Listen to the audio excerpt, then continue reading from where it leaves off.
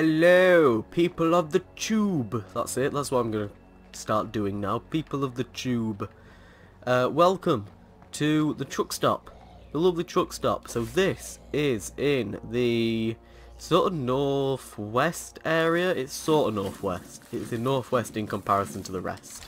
Which did rhyme. I am now a rapper. Uh, so, we're going to be taking a look at this place. Luckily there isn't an enclave here. This is already one of my favourite areas. So you only need five people. It's sort of like a second, second or third base location that you could maybe sort out. Um, it's it's an alright spot. I really really like it.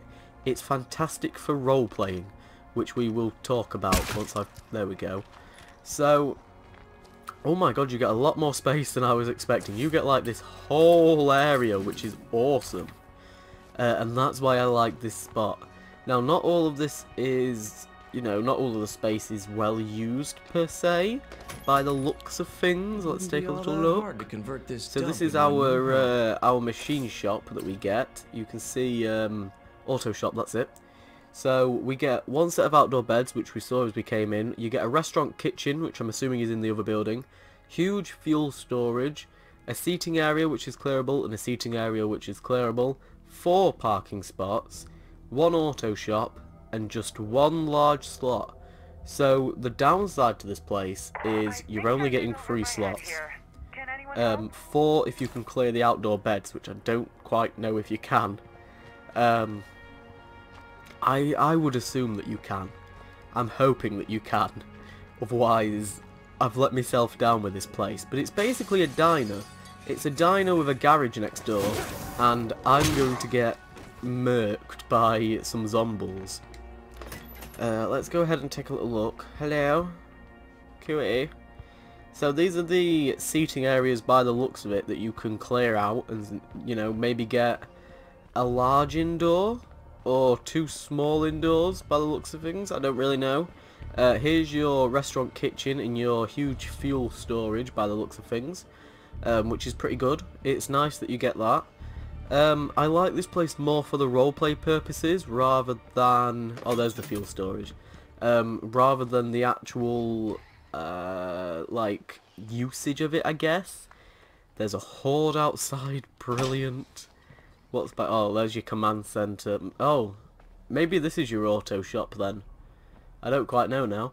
Um, but this place is just really, really cool for if you're wanting to roleplay a group of survivors that are into crafting things. It's great. And it's also in one of the best spots in the map. I said that uh, last time about that place. Um, this is equally as good, almost as good. It's get it's getting there. This and the uh, strip mall are really, really great locations uh, for bases to be in on this map.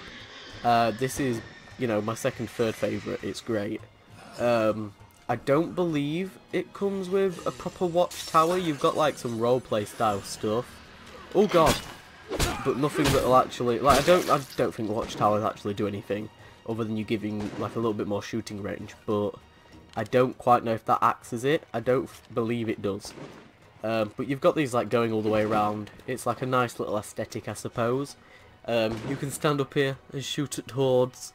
Uh, but yeah, the location of this really, really boosts it up. Again, if you're like me and you've got an enclave nearby, you've got your own little settlement set up. Um, you can put outposts at each entrance of the town, which is nice.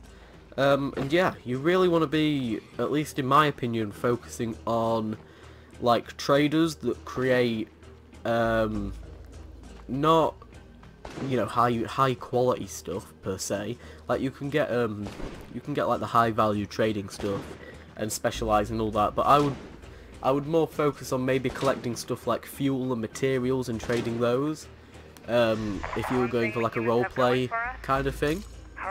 Uh, it's just a really cool spot. It's really really cool. I like it. It's alright it's quite small in terms of what you can build here um, but I definitely think it's better than the restaurant and the default house. Um, I'm not covering the houses. I apologise. Um, but yeah, it's got a couple of entrances. Four parking spots is insane for a base this cheap. Um, I believe four's the maximum you can have. So the fact that a base that only costs a thousand and then five people, you know, that has four four parking spots is pretty good.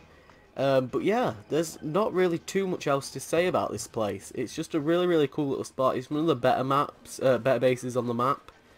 And yeah, I would recommend it. Obviously not if you've got a uh, plague heart right outside. So, thank you for watching, and I will see you guys next time. Bye-bye.